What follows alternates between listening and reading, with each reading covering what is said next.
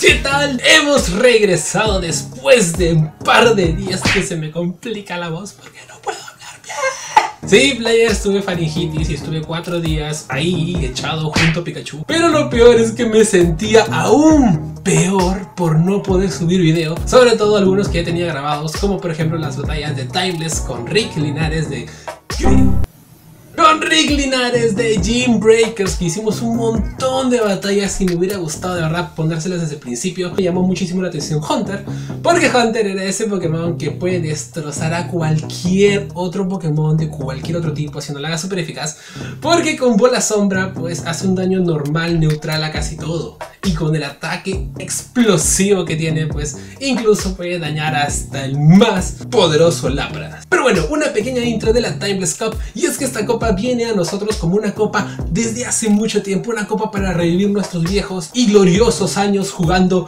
pues a cualquier cartucho de Pokémon en la Game Boy, porque ahora tenemos que elegir a un inicial para poder utilizarlo dentro de una composición y esto hace de que muchos pues crean que algún tipo en específico sean bastante bueno, pero si se dan cuenta pues tienes un abanico bastante porque dentro de los iniciales que tienen pues está el Gran Venusaur, Charizard, Swampert, tienes daño neutral, tienes spameo, rompe escudos, tienes eh, a Charizard. ¿Quién no quiere tener a Charizard en ese equipo?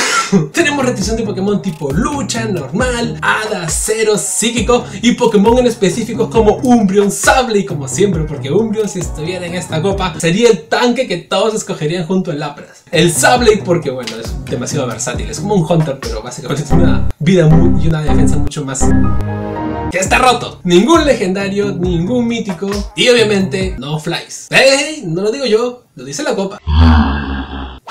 Bueno, ya basta de mucho flora y comencemos las primeras batallas. Y comenzamos la primera batalla con Hunter versus el Lapras. Acá la idea era utilizar el Hunter a la vez de la Sinister Cup, es decir, pues para romper escudos y que nuestro siguiente Pokémon tenga la ventaja de escudos. Acá trato de llegar a la bola sombra para baitearlo con el puño sombra y resulta, bueno, que está un poco lento, pero no pasa nada, porque lo baiteamos y le rompemos el primer escudo a Lapras. Ahí nada más tiene el puño sombra porque digo, bueno, sabes que ya la idea va a ser bajarle lo máximo de vida y sobre todo aprender qué tanto le podemos hacer. Y miren ustedes que llegamos a un tercer puño sombra, lo que lo obliga sí o sí a cubrirse porque si no toda su energía no se va a ver rentabilizada. Acá decido sacar a Venusaur porque lo quería terminar de farmear. Y bueno, mi Kindra no tiene doble ataque, así que tampoco es una buena elección. Me cubro, eh, felizmente era un rayo de hielo. Más que seguro que si era este doble surf hubiera caído ese, ese, ese Venusaur, pero en fin. Sale su Venusaur, lo farmeo un poquitito, ni siquiera mucho, solamente quería llegar a la bomba lodo, porque yo sé que él llegando a la bomba lodo, pues no va a poder bajarme, porque si se dan cuenta tenemos vida suficiente. Y es entonces que yo digo, bueno, vamos a seguir farmeando un poquito más, vamos a ver qué Pokémon viene, y aún así, pues yo no creo que tenga nada contra mi Lapras, porque mi Lapras, Lapras contra mi Kindra, porque mi Kindra es el rey de los Pokémon tipo dragón. Así que bueno, acá le lanzamos un planta feroz, ya hemos farmeado un poquito más, y en todo caso le queda un toque, o sea que farmemos otro un poquitito más. Sale el Quagsire digo, genial, Quagsire no es rival para mi Venusaur. Y con esto y con nada de vida, pues le metemos una planta feroz a lo que él responde cayendo honorablemente. Para la siguiente partida, y ojo, no están en orden porque hicimos varias, como les dije, pero no quería que el video dure 24 minutos. Pues comenzamos con otro Pokémon inicial. Esta vez elegí el Swampert, quería cambiar, pero la conexión débil que se vea la bolita, la bolita que no me deja cambiar, pues no me dejó cambiar y lamentablemente tampoco farmear lo que esperaba.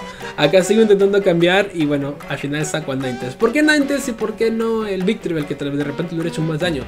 Porque quería probar al Ninetales qué tanto daño le podía hacer con el fuego y supuestamente el daño neutral que me estaba haciendo este con este, su básico de hielo, en el Lapras. Así que bueno, la idea era probar y la verdad es que no me fue nada mal. Tuve que hacer un escudo, pero finalmente llegamos al psicocarga que lo lanzamos y pues si se dan cuenta, lo obligamos a gastar un escudo. Vamos a llegar rápidamente al segundo psicocarga. Pero lamentablemente llega el primero al surf, se la juega bastante y termina ganándole a mi Ninetales. Con esto dije, mmm, no está tan bueno como esperaba. Pero en fin, sacamos al Victreebel y me di cuenta que si hubiera cambiado directamente al Victreebel, más que seguro que hubiera tenido la ventaja absoluta desde el principio. Pero bueno, nada que hacer. Sale su Nidoqueen y yo digo, no pasa nada o pasa algo. Este Nidoqueen no se suponía que entraba en la liga anterior en la Feracios. ¿Qué hace acá? Pues nada, le vamos a meter una hoja afilada. Y mira tú que lo logramos eliminar a puros básicos. No me lo podía creer. Aquí digo, bueno, ¿sabes qué? Me va, me va a querer farmear, pero nosotros le vamos a meter una hoja aguda nuevamente. Otra hoja aguda. Lo, aprendí todito de Acelix. La hoja afilada está rota, no importa la copa que jueguen. Usen hoja afilada. Saco a mi, a mi Swamper para tirarle el hidrocañón. La verdad es que no hay mucho que hacer, él tiene un escudo. Capaz que sin escudo hubiera llegado al segundo hidrocañón. Yo que sé, porque acá tenemos nosotros también un escudo. Pero aún así no es suficiente, por eso estoy tapeando este el terremoto. Pero no es suficiente para poder eliminarlo, así que bueno. El hidrocañón hizo un gran esfuerzo, pero no fue suficiente. A uno de vida, el Vinazar llega a la planta feroz y nos baja al Swamper.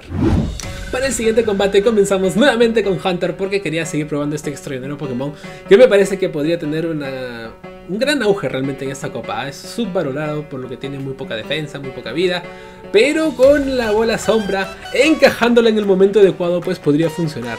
Acá le pone un puño sombra, él no lo cubre y aún así él llega a debilitarme a mí con puros básicos, lo que le da la ventaja, vamos a decir, de los escudos, porque logra tirarme el enfado.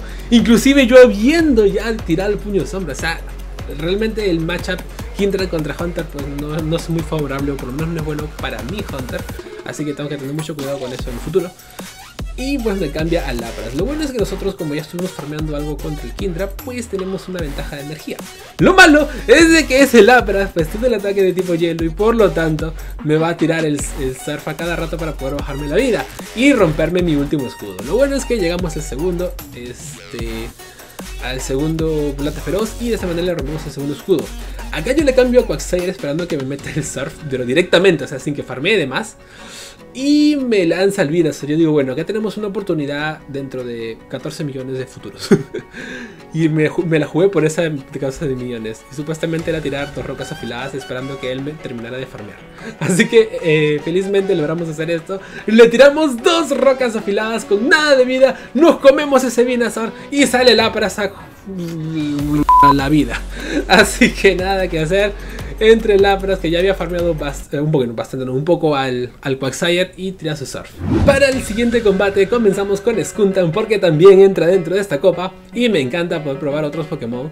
Pero también llevamos atrás al Hunter. Lonzo que demasiado Hunter, sí lo siento, lo que pasa es que quería probarlo porque por alguna razón está dentro de esta copa y me parece que cuando Hunter es una posibilidad, es una elección, pues hay que utilizarla, es algo así como la Altaria. En fin, comenzamos con el Skuntan tirándole puros triturar a ese Froslas. ¿Por qué? Porque Froslas también es tipo fantasma y le va a caer un daño horrible con el triturar y por eso él tiene que escudarse no una, sino dos veces. Acá yo digo, bueno, una avalancha no me va a hacer mucho, una bueno, era una luz.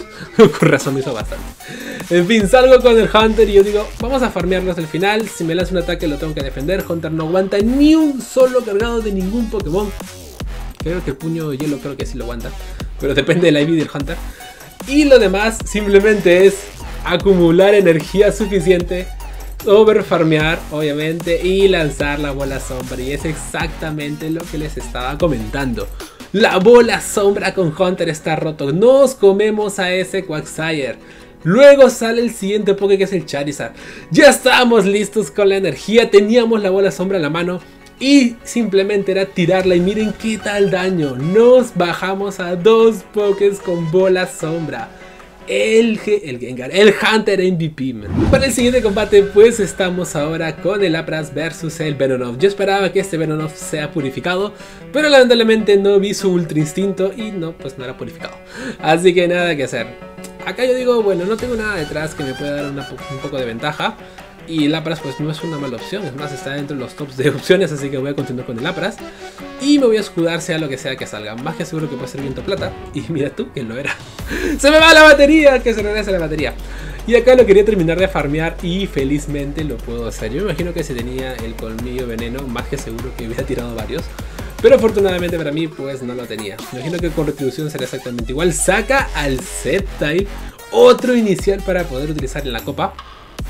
Pero es, en este caso pues no es tan bueno porque lamentablemente lo logro baitear y no podemos ver su potencial porque con un rayo de hielo pues sale volando el Sceptile a otro combate. Nos saca al Shelgon y logro sacar un Surf. Yo digo, se va a escudar, se va a escudar porque va a creer que es rayo de hielo y se escuda, vámonos. Se escuda y en ese momento yo me imagino que Enrique estará pensando, Denson, me escudé por las puras.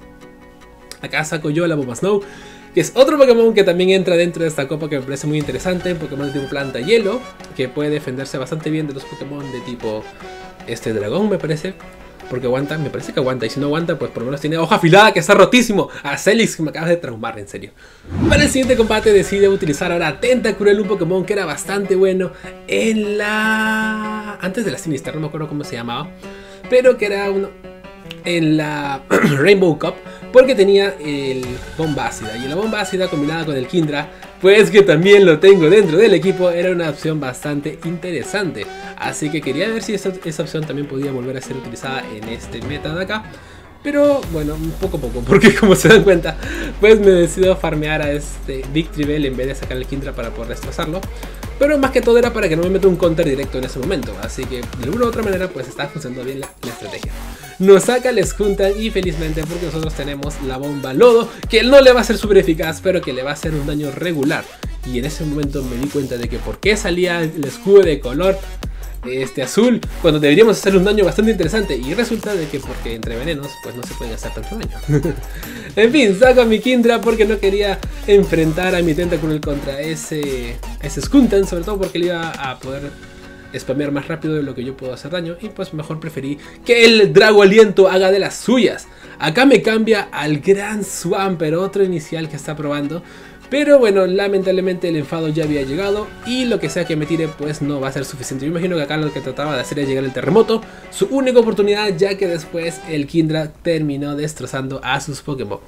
Y ya para el último combate, bueno como les digo hicimos bastantes pero solo elegí los mejores porque si no tendríamos un video de media hora y la verdad me parece bastante. Comenzamos con el Dragonair versus el Lapras. A ver, ¿por qué mi Dragonair no es purificado? Porque me costaría muchos polvos, es más, ya lo tengo listo, ya, ya tengo uno guardado porque si es necesario que sea purificado.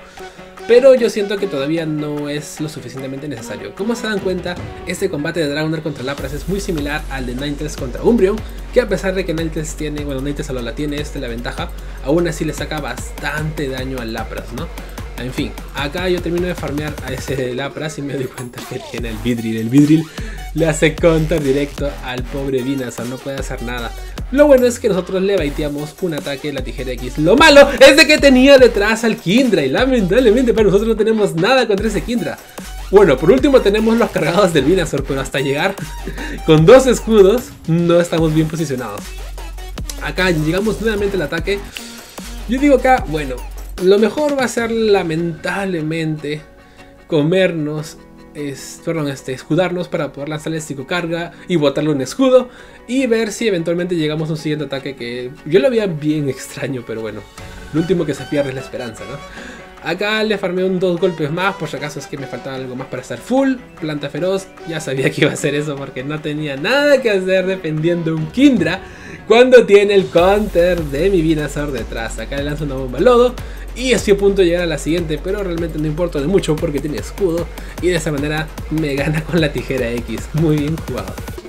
Y bueno players, esas fueron mis primeras batallas Gracias a Rick Linares de verdad por haberme ayudado con estas batallas en fuertes horas de la noche Es más, yo, creo que estaba en el taxi Estaba en el taxi regresando y pues tenía bastante tiempo para poder hacer las batallas y decidir grabarlas en ese momento Porque se suponía que las iba a subir en ese día Pero me tenía que enfermar y se fue todo, ¿verdad? Charizard. Pero bueno, la verdad es que todavía creo que hay muchos Pokémon para poder utilizar, para poder verificar y me parece que uno de los que son más interesantes ahora último son todas las purificaciones que han salido como por ejemplo el Verano purificado, el Bannet purificado, que es un Pokémon que me encantaría poder utilizar hasta el Gloom. Y por último también el Castform de nieve porque me parece que puede cargar bastante rápido la Meteorobola de nieve y eso podría ser algo bastante interesante en esta copa debido a que aparte de Lapras creo que nadie más aguantaría ese, ese Así que bueno players, todavía hay mucho que ver, de verdad estoy tratando de regresar lo antes posible, como se dan cuenta amigos, todavía no es la adecuada. Pero lo estamos intentando y lo vamos a seguir haciendo. Así que ya saben que si quieren ver otro Pokémon dentro de estos videos, pues pónganme en los comentarios porque lo vamos a estar tratando de revisar a la mayoría, si no es a todos. La cosa nada más es tener el Pokémon. Por último, no se olviden que tenemos un extraordinario sorteo de 10.000 monedas cuando lleguemos a los 10.000 suscriptores para poder participar. Lo único que tienen que hacer es ir al link de la descripción de este video. No se lo pierdan en serio porque vamos a llegar.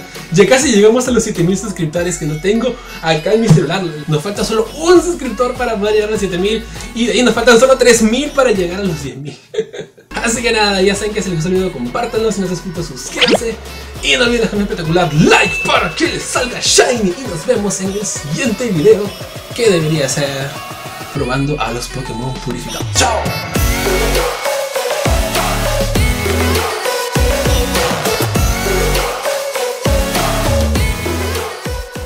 Hoy, por cierto, ya con todo lo que pasó ya no pude rankear ninguna copa feroz, así que vamos a ver si logro rankear alguna el fin de semana porque no me queda más tiempo.